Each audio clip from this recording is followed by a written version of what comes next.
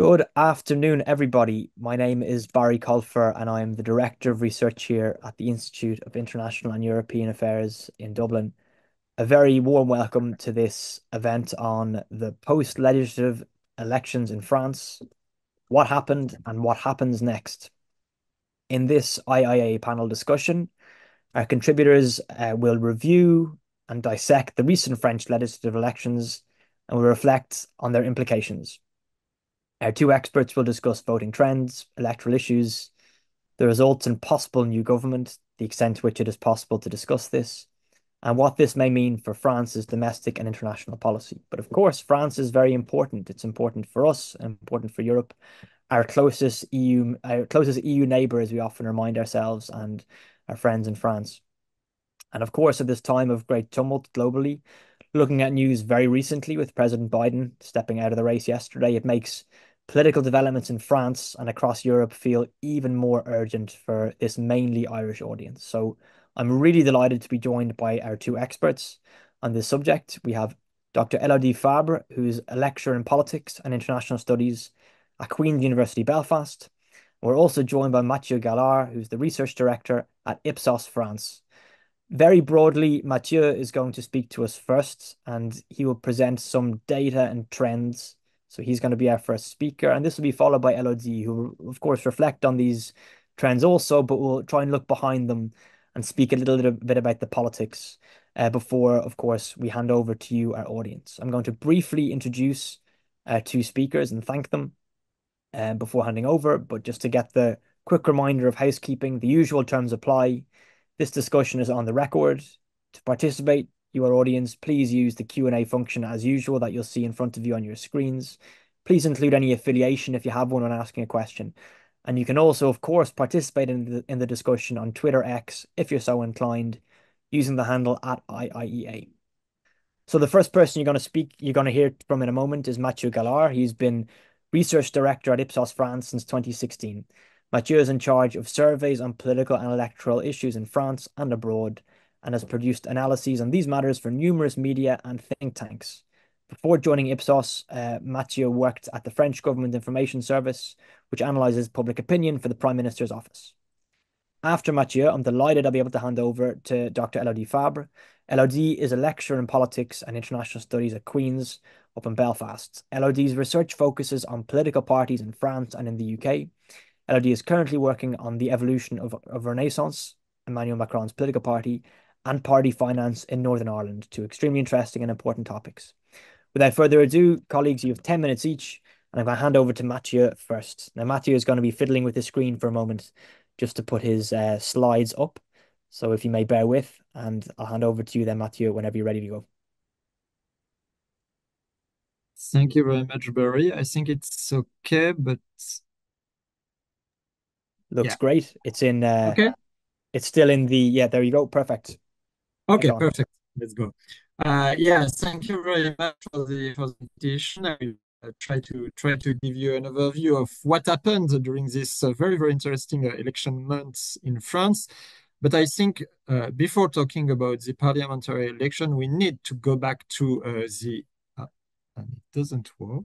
Yeah, to the European election, which took place on the 9th of June, if I remember correctly. It's a long time ago now. A lot, uh, a lot happened uh, since then.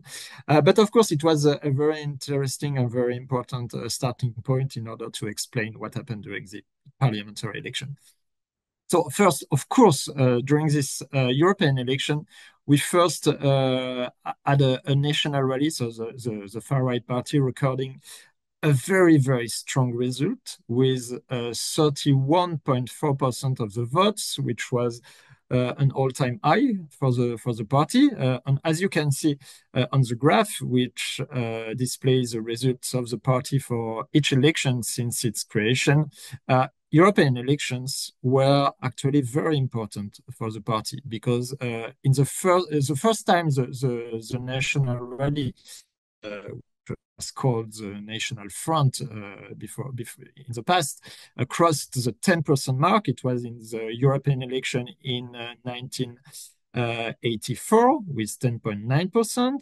The first time the National Rally crossed the 20% mark, it was also in a European election in 2014.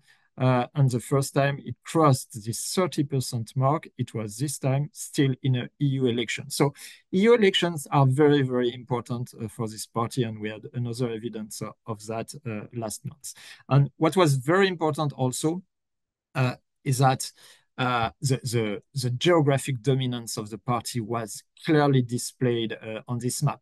Uh, first, uh, on the on the left, you have the, the map of the of the vote uh, in the in all the legislative constituencies of the of the country, and you can see that well, basically, you don't have much difference compared to to what we what we had in the pay, in the past. Uh, basically, uh, where the party was strong 20 years, 30 years ago, is still strong today. Uh, it's on the Mediterranean coast, so on the south uh, southeast of France, and on the northeast of France uh, is quite weak still today. Uh, in the large uh, agglomerations. So, for example, Paris, Lyon, uh, Bordeaux, Toulouse, Strasbourg, but also on the west of France, especially in Brittany, in the Loire Valley, in Normandy.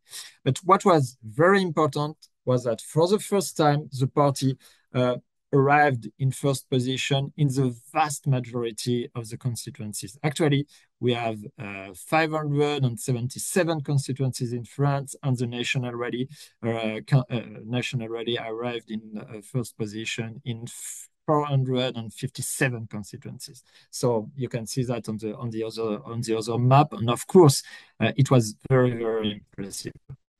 The other uh, very important aspect of the EU election was that it was just a disaster for Emmanuel Macron's coalition. Uh, its party, Renaissance, got only 14.6% of the votes, which is uh, really, really catastrophic uh, for, for, for its party. And on this, uh, on this graph, you have the results uh, of the parties supporting the government in all the EU election. And you can see how bad uh, this result, this 14.6% uh, is. So, uh, of course, uh, because of the of the strength of the national rally and of the weakness of the presidential coalition, uh, it immediately raised the question uh, about why Emmanuel Macron decided to call for a snap election after this this result. And the, the of course, I'm not Emmanuel Macron. I, I don't know uh, what was in, in his mind, but we can imagine that uh, the rationale behind it was just the fact that the left wing parties were highly divided in the EU election.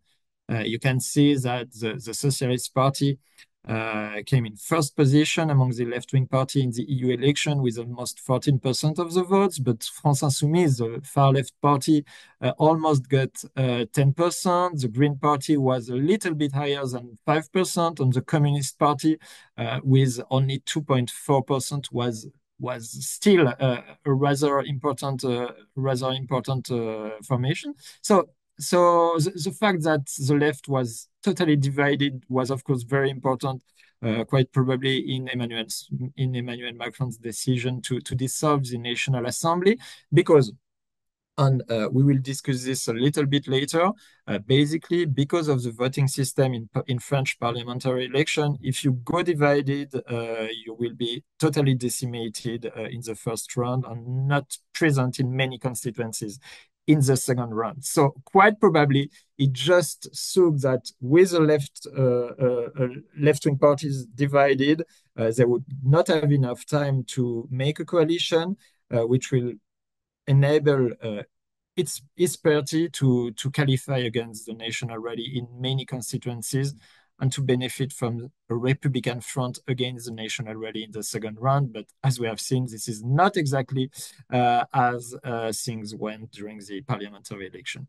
And this is where we are now. If we if we look at what happened during the first round, no, first, sorry, uh, we need to discuss, of course, uh, the the main uh, element explaining the result of the of the first round, which is, as I said, uh, things uh, didn't uh, didn't went as Emmanuel Macron anticipated.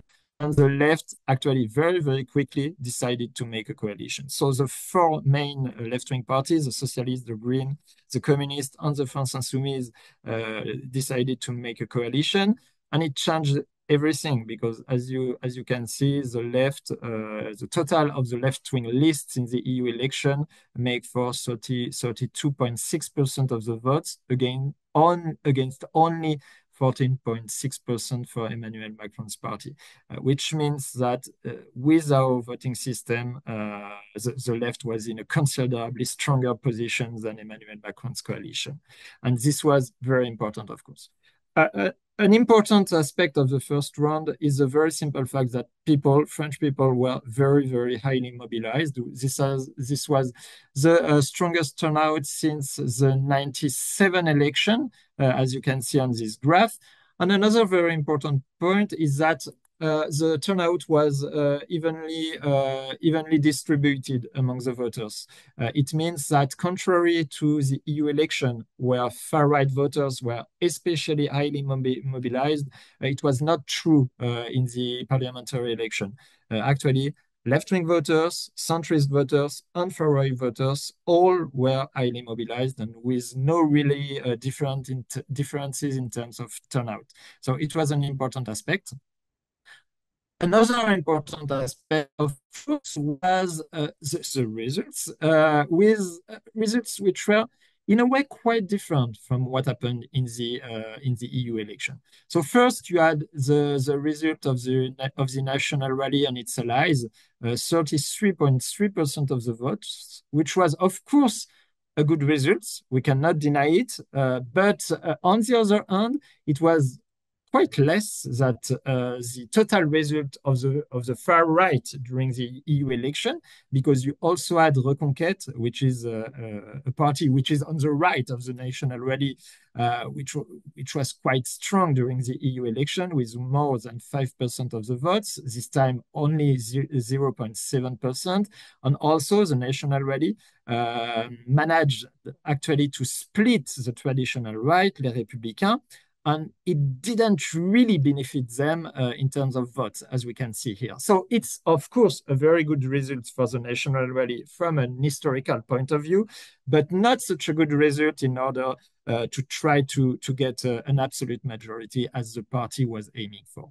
Uh, for the left, it was also quite a good result because 28.5% uh, in the first round, it means that the vast majority of the left-wing voters actually voted for this alliance, the new Popular Front, the Nouveau Front Populaire, which was a, a very strong success for the left because during this, uh, this very short campaign, many pundits uh, talked about the fact that it was a, an alliance between totally different parties and that the voters would not back this alliance. Actually, they backed it, but the fact is, uh, it was a, a, an, an effective alliance in order to to uh, make uh, all basically all left-wing voting voters voting for for it, but not very effective in order in order to attract new voters from the centers from the center of voters uh, abstaining in, uh, in other elections.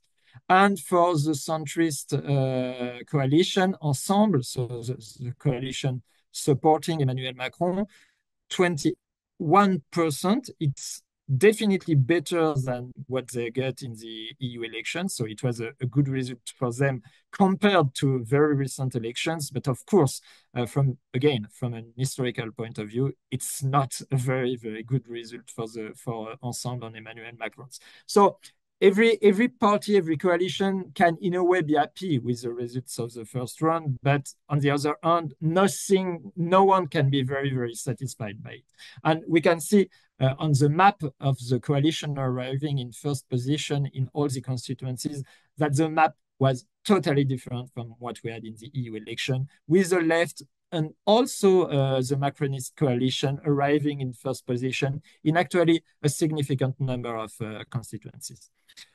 What happened uh, just after the result of the first round arrived is that the Republican Front actually made a comeback. So what is the Republican Front? Front, it's just the tendency of the parties and of the voters to try to block the national rally to come to power. Uh, it means that the party withdraw the candidates when there is a three-way contest. Uh, so if there is a three-way contest, the party arriving in third position uh, withdraw its candidate, and it means uh, at the voters uh, level that the voters tend to tend to try to block the national rally.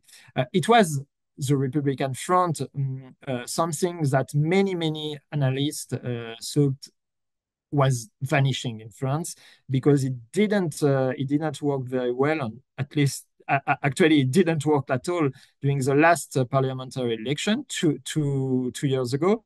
But now uh, the situation was of course totally different because for the first time it was something really possible that the national rally would govern the, the country after the election. So it had an impact. It had an impact on the parties and many many parties on the left, but also uh, on the Macronist coalition, decided to withdraw their candidate arriving in third position. And you can see it uh, in this in this quite complicated slide. But the the, ma the main aspect is that you can see that the, the, number of three-way contests was uh, 300 and, uh, 306 three-way contests after the results of the first round. But actually, uh, we had only 80, uh, 80, 89 third way contests because uh, many candidates from the left and from the and from the Macronist coalition decided to withdraw, and we had many more two-way contests than uh, that we anticipated. And of course, it was not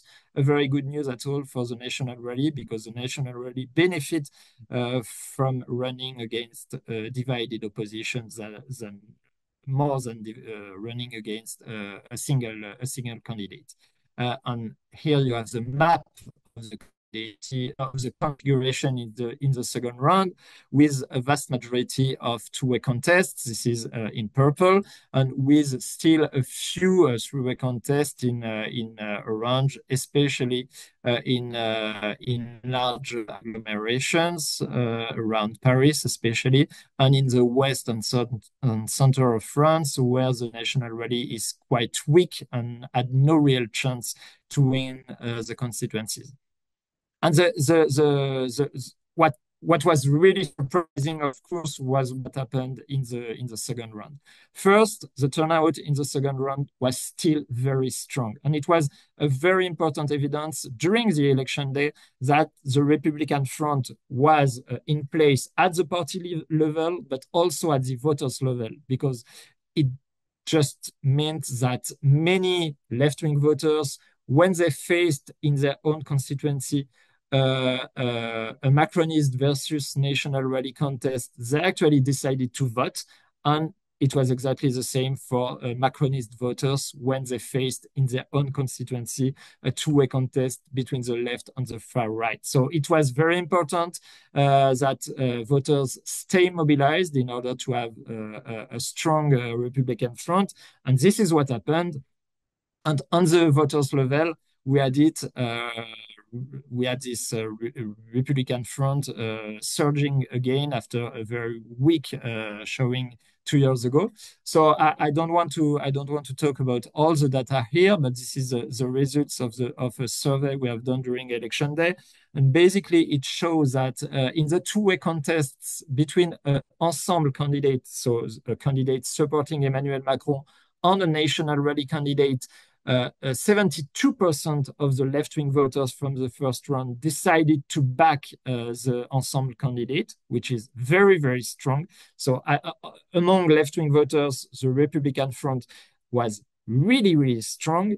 And on the other side of the slide, you have uh, what happened, especially for Macronist voters, what they decided to do when they when they were in a situation where uh, they, in their constituencies there was a left-wing candidate against uh, a national rally candidate.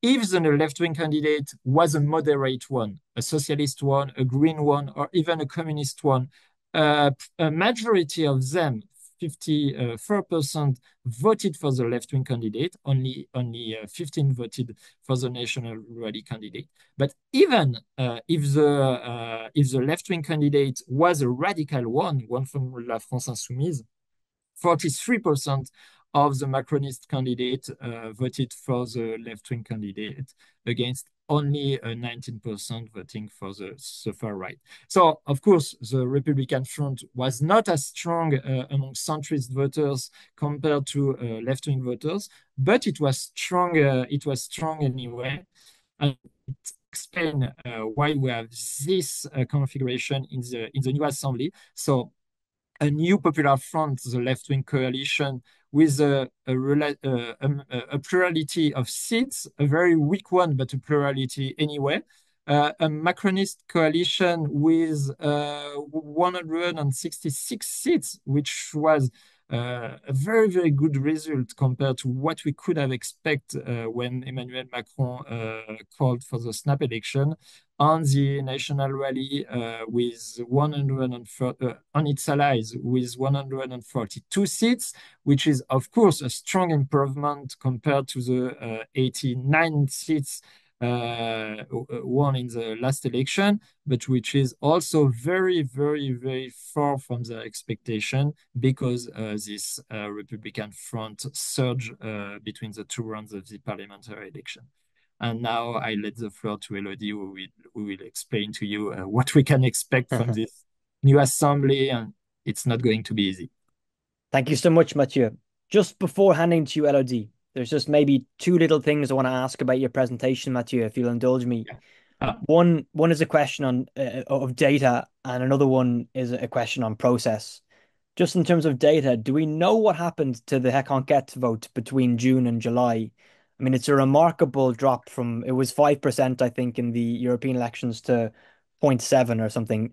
Did those supporters just drift to the other parties of the right, or or can you say what may have happened? They, they definitely went to the national rally. Uh, what we have seen is that uh, inside the Reconquête, so the, the, party on the right of the national rally, there was uh, a very very confusing situation between the between the European election and the first round of the parliamentary election. And actually, uh, one of the main figure of the party uh, is Marion Maréchal, uh, she is a niece of Marine Le Pen. She uh, decided to go to the national rally to Reconquête, and actually, she decided to back uh, the, the national rally. So most of uh, the, the party voters decided to to vote for the national rally candidates. Interesting. Okay, and then my question about process is myself, many people on this call are just very interested in elections and their mechanics and how they how they differ and how they're similar. You drew a lot on turnout turnout was obviously relatively high. Is there anything that explains that beyond the very obvious? And you can say no if it's just because this election was very important and people were more felt the urgency, perhaps that, or was there something driving it or something organized to try and improve turnout? And kind of similarly, uh, something that was really fascinating was this Republican front. You you dwelt on this very clearly in your presentation, where there was the three ways that many candidates stepped out so as to avoid splitting the the the non-right wing vote, let's call it. Similarly, did that emerge kind of organically, or were there any figures in French politics within the parties that were particularly important in bringing about what seems to have been a very kind of successful move for the parties of the non-right? Okay, uh, regarding the the turnout, I think uh, well, basically, you, you said it. Uh, voters just felt that uh, for the first time since a long time, there was a lot at stake in this parliamentary election. You know, since 2002, each parliamentary election in France uh, is organized just after a presidential election.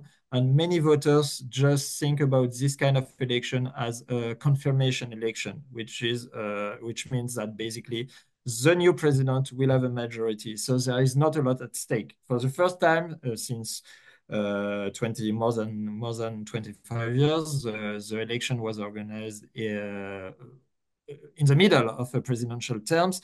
And of course, uh, there was a lot of, at stakes. First, uh, which party will govern uh, the country after the election? And even more importantly, uh, will the national rally be in a position to govern the party after the election? It was, of course, something that mobilized a, a lot, uh, very strongly actually, national rally voters, but it was also something that mobilized voters who were, who were uh, afraid of the perspective of the national rally governing the country. So it explains why uh, the, the turnout rise uh, in a similar proportion among every every categories of the population, basically. regarding the, the, um, the Republican Front, uh, uh, it's something that is organized. You can well, theoretically, you can have a, you can have a Republican front without party organizing organizing it, but it's really really difficult to imagine. So you mm. need to have uh, candidates uh, or parties in third position withdrawing their, their candidates, and this is something that happened very very quickly and very very uh, clearly on the left. It was the dynamic was clearly more difficult uh, among the Macronist coalition, with, for example, uh, some leaders, uh, for example, Edouard Philippe, the former prime minister, uh, saying that yeah, they accept uh, to withdraw their candidates, but not uh, when uh, the candidate opposing the National Front uh, is a far left candidate. Some other were a little bit uh, more clear, even if it took a few days. For example, Gabriel Attal, the prime minister, actually he decided to say clearly that even if the candidate, the left-wing candidate, is a is a far-left candidate, uh, the the party needed to to withdraw uh, the candidate in this case. So uh, it needs to to to to happen on the on the party levels, and I think yeah, the message of the leaders was very important uh, in order to make it happen on the voters level. But it's true that it was a little bit surprising how strong it was, especially uh, on the among left-wing voters. Uh, if you consider uh, all the, the tensions, and this is not the the, the, the, the accurate word uh, between the, the left and the and the presidential coalition in the last two years. Very clear, Mathieu. Thank you very much. Elodie, I'm delighted to hand you the floor. By all means, please make your presentation. But if you have any comments or thoughts on what Mathieu has shared with us as well, please uh, please fire ahead. Thank you, Elodie. Okay, thank you. Well, while I'm presenting, I would also say add that on the Republican front, left voters have actually more of a track record of it. They're more used to voting for uh, candidates uh, they might not support in order to prevent the election of a national rally candidate. They've done that as far back as 2002 when Jacques Chirac uh, ended up uh, against uh, Jean-Marie Le Pen in the presidential elections. And again, every time uh, Marine Le Pen has been uh, uh, in the second round of presidential elections, it was against either a right-wing candidate or um, indeed against Emmanuel Macron. So they've they've got a lot more practice of voting for someone from the other side than um, Emmanuel Macron's voters, or some of them, and voters uh, on the right who, who've not had to do this sort of electoral gymnastic. Uh, okay, so I'm going sort of to follow up uh, on what Mathieu was uh, saying. Uh, and so we kind of had the same starting point here, which was, um, are you also seeing the the closed captions? The closed captions, yeah. Yeah, sorry. No problem. I, am not entirely sure how to stop them. That's my problem here. But um... I'll leave that to the, to the tech team actually looking. If are, are they are they bothering you, Elodie? No, it's just surprising me. But um, if, if it's not a bother to you, uh, I will. Not at all. No, that's the uh, thing with recording lectures and things like that. You need to have closed captions for um for for students. No, it's great. Um, Yes, apologies. Uh, I can't I can't seem to know how to to to remove them. Leave them rolling. It's fine. Honestly, okay, you have them on good. anyway. Yes. So yeah. So that's the, same starting point uh, as as Mathieu, which is showing you the evolution of uh, the um, previous election. So that's the 2022 parliamentary elections and the 2024 EP elections and the state of, of the party. So there's no point elaborating further on this because um, Mathieu has, has done this, but this uh, shows that indeed, as Mathieu was saying, Macron sort of gambled on the divisions of the right, and that hasn't quite worked uh, as uh, well as he as he expected. So um, Macron's party, which is now called Renaissance, after having been called En Marche, and then La République En Marche. Uh, now it's called Renaissance, but it's mostly now in coalition uh, with a few other parties, and they're called Ensemble, Together. Together for the Republic seems to be the new name. It keeps changing all the time. It's driving me nuts a little bit. Uh, but in 2022, they had a, a narrow majority of the seats uh, in in parliament, and but you know they were still find difficult sometimes to pass legislation. They uh, quite regularly had to use uh, Article 49.3 of the Constitution, which allows a bill to be passed without a vote if uh, Parliament fails to pass a, a motion against the government. Um, and that created a lot of tensions because they really failed to try, they, they could not often find ways to enlarge, increase the size of, of their majority and get legislation through.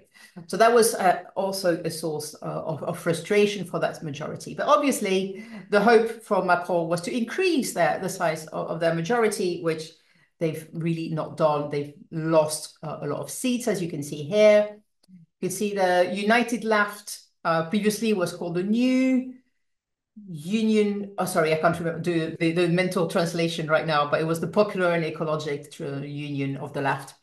Now they call the New Popular Front. Uh, and they also they saw an increase in the number of seats, and also the National Rally uh, increased its seats. The fourth block in, in, French politics is the sort of mainstream right. Uh, the mainstream right has really suffered in this particular election because uh, the party leader, Eric Ciotti, who was at the right of the party, decided to join forces with the National Rally.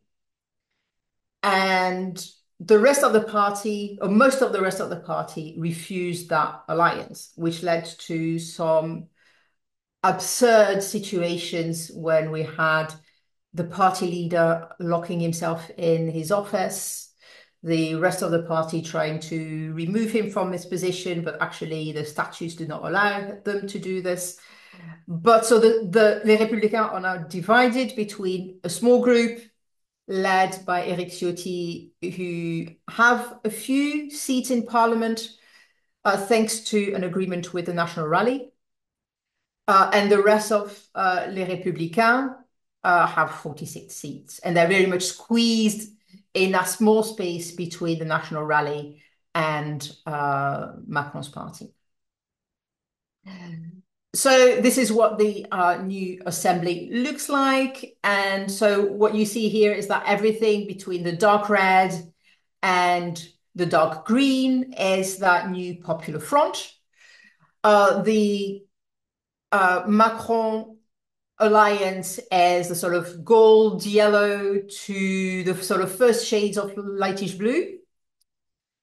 The darkest blue is uh, Les Républicains, so that sort of post-Gaullist right. And the gray and black are the National Rally, and those on the right who are aligned with um, uh, the National Rally. And so this looks like this, and it's we're very much in a sort of three block situation right now. And so if you I've added as well comparisons with 2017, so you can see how much that Macronist block has shrunk. Uh, they've nearly lost half of their seats. Um, and you could see as well how on the left that uh, coalition strategy that Mathieu was talking about earlier has worked very well for them because in 2017 there were really a small group of MPs that increased in 2022 when they formed an electoral coalition and when they renewed the electoral coalition this year that worked uh, well as well. You can also see how much the National Rally has grown in Parliament between 2017 uh, and uh, 2024. That's what the parliament looks like now. And this three block make it very, very difficult to consider how um, we're going to make a, a coalition. Um, so who governs? Right now, uh, it's still Gabriel Attal, who looks like he's aged quite a lot in the six months he's been uh, prime minister. But um, so as soon as uh, the elections results were known after the second round, he presented his government's resignation to uh, the president, who initially refused it, so that they kept going. But uh, this week, last week, sorry, uh, Parliament returned, and then the prime uh, the president uh, accepted the government's uh, resignation, but they still stay in place because there's no alternative yet. So it's a situation that's very unfamiliar to the French, but it's very familiar to any parliamentary democracy that is used to coalition government. Well, it might take a bit of time between the election and the moment when the parties in parliament manage to find a, a governing agreement. So we have a sort of caretaker government that can just keep things running. They can't make any new decision. They can't introduce bills in, in, into parliament, etc. They keep things ticking along until there's actually a, a government. Uh, it looks like uh, Macron is uh, arguing that no new government should be uh, appointed until after the uh, Olympic Games. Uh, if I've got my calendar right, they run until sometime mid-August. I apologize, I haven't been paying that much attention to the Olympics.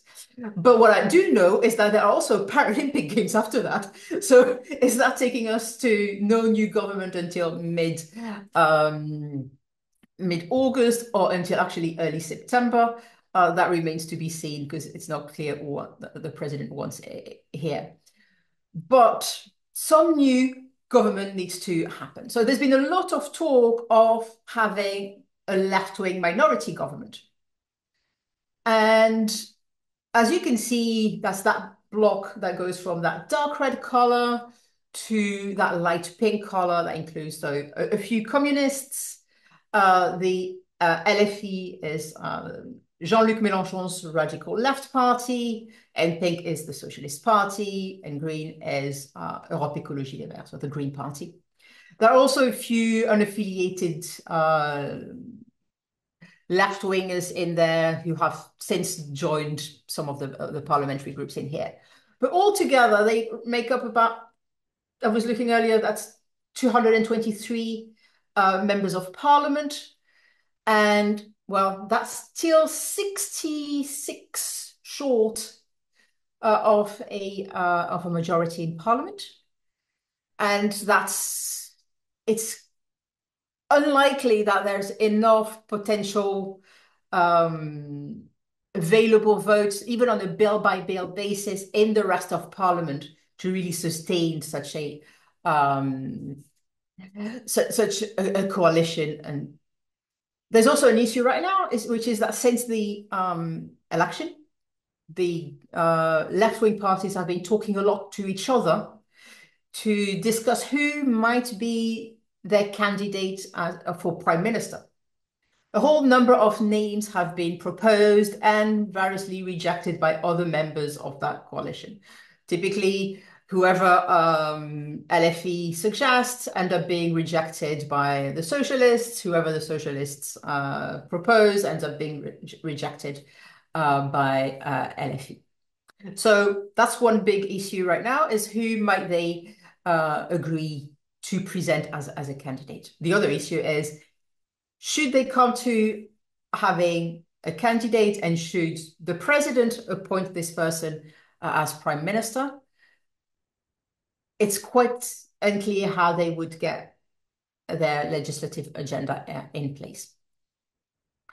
A second one, so one majority that has, one coalition that has a majority and that is very much favored by uh, Macron uh, and others. Maybe one that includes pretty much all the parties that you can see are linked here together, perhaps with the exception of the Greens.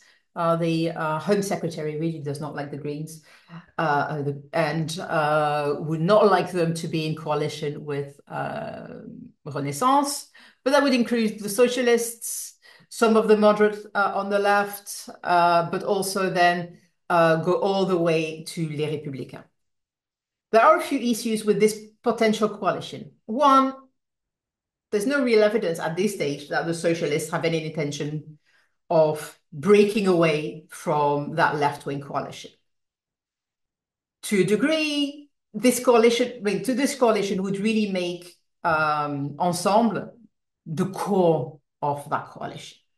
And therefore they would be that would be the largest group and would really be in the driver's seat of any such coalition. It's hard to see why the Socialist Party, who Macron has done his best over the last seven years to undermine, maybe make that eight years at least, to, to undermine, why they would want to save his skin right now. Another hurdle in this uh, big coalition here is that Les Républicains have, have said, we don't want to be part of a coalition. We could be part of a legislative agreement of sort of confidence and supply to a minority government where we would have an agreement. We would not be part of that government. Another risk of such a coalition is that it's pretty much everyone but the extremes, and in particular, everyone but the National Rally. And that would really play the hand into the hand of Marine Le Pen and Jordan Bardella, who've been arguing that for decades that there's a sort of cartel against the National uh, Rally, and before that, the National Front. And the, that Republican Front is for them some evidence of, of, of, this cartel, even though it's actually citizens voting against the National Rally. Uh, but that would really, that sort of coalition would kind of really strengthen the uh, hand of the National Rally or their argument that they're the only real opposition. And we see them saying this already because this week there have been um, internal elections in Parliament for uh, the, the Speaker, uh, the Bureau of the, uh, of the Assembly, etc. And unlike in 2022, they did not get any vice presidency, uh, etc. And so they're arguing that, look, everyone else is voting against us again. We are the only uh, opposition. So what does that mean for our institutions? Those institutions have been built for majority governments, really. The idea that, you know, you've got a president who's elected by, with, uh, by citizens, and then they will have support from a parliamentary majority and that implement that program. We've had instances where this has not worked out as planned. We call that coalition, where Mitterrand had two right-wing prime ministers and Chirac had one uh, socialist prime minister. But in every instance, the government had the support of a parliamentary majority. Since 2022, we've had minority governments, and the logics of partisanship that remain very strong in France mean that they've really struggled to get to find broader agreements, even on a bill by bill basis, uh, to build majorities, and therefore they've had to uh, use that uh, Article 49.3 that I was saying about that allows uh, a bill to pass without uh, a vote unless Parliament uh, votes the government out. And those institutions influence parliamentary politicians' behavior as well, and that creates a really a lack. There's no culture of consensus in French politics. And we see that in some of those discussions uh, on the left, for instance, who say, well, we're going to form a government and we will implement our program, just our program and nothing but our program. But there's no parliamentary majority for that program. And so it's, it's and then you see as well the uh, right saying, well, we will support you on a one-to-one -one basis, but it depends because they're also thinking of 2027 and the presidential election, and then you need to maintain your separate identities uh, to have uh, your your own candidate.